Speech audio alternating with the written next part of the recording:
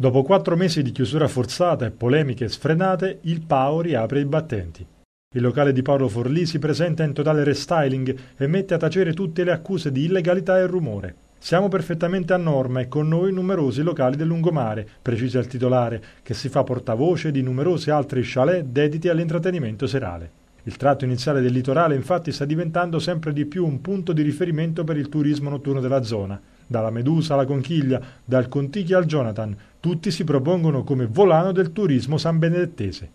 Abbiamo scelto di rispettare le regole, aggiunge Paolo Forlì, e speriamo che ora tutti facciano come noi. Scelta di mettersi in regola, scelta di dare un nuovo look e sicuramente di innalzare il livello estetico anche della città. Questo porterà del bene a tutti non chiediamo applausi, non chiediamo monumenti, però insomma, che abbiamo fatto un buon lavoro per tutta la città, questo è evidente. Ora noi non ci aspettiamo che si faccia nulla di che, eh, ci aspettiamo soltanto che le regole vengano come sempre rispettate.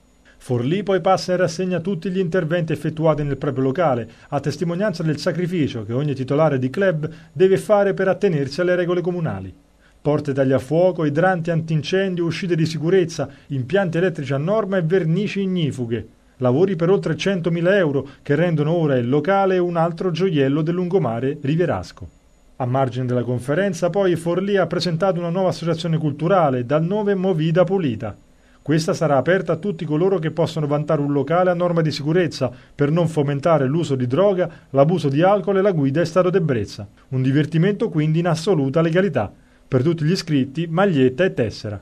Il messaggio finale, appunto, la, volontà di questa associazione sarà appunto quella di andare a curare tutti, eh, gli interessi di tutte quelle persone che vogliono divertirsi la notte, operare nei locali notturni, farlo in totale tranquillità e non sentirsi con uh, il fiato sul collo e con, uh, con i 100.000 occhi addosso e far capire che questo mondo è fatto anche di persone che vogliono comunque eh, fare dei grandi progetti, dei progetti seri, interessanti, che vogliono crescere insieme a giovani e far crescere il commercio turistico di San Benedetto e delle zone limitrofe.